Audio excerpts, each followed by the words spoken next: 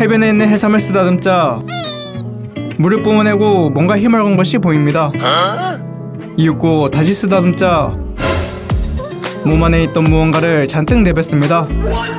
이는 다름 아닌 해삼의 내장입니다. 영어로 sea cucumber. 바다의 오이라 불리는 해삼은 자기 방어 일종으로 몸 안에 있는 내장을 뿜어냅니다. 정확히는 퀴비해관이라는 특수한 기관으로 가느다란 실처럼 생겨 조금만 만져도 엉겨붙는 성질을 갖고 있는데요. 덕분에 포식자들은 이 퀴비해관에 얽혀 제대로 움직이지 못한다고 합니다. 하지만 이 퀴비해관이 없는 해삼도 있는데 이들은 진짜 내장을 뿜어내며 체내 사포닌계 독을 함께 방출한다고 합니다. 다행히 사람에겐 해가 없는 독이지만 물고기한텐 치명적이라 어항에 서 함께 기르다가 해삼을 잘못 건드려 봉변을 당하는 일도 있다고 하네요.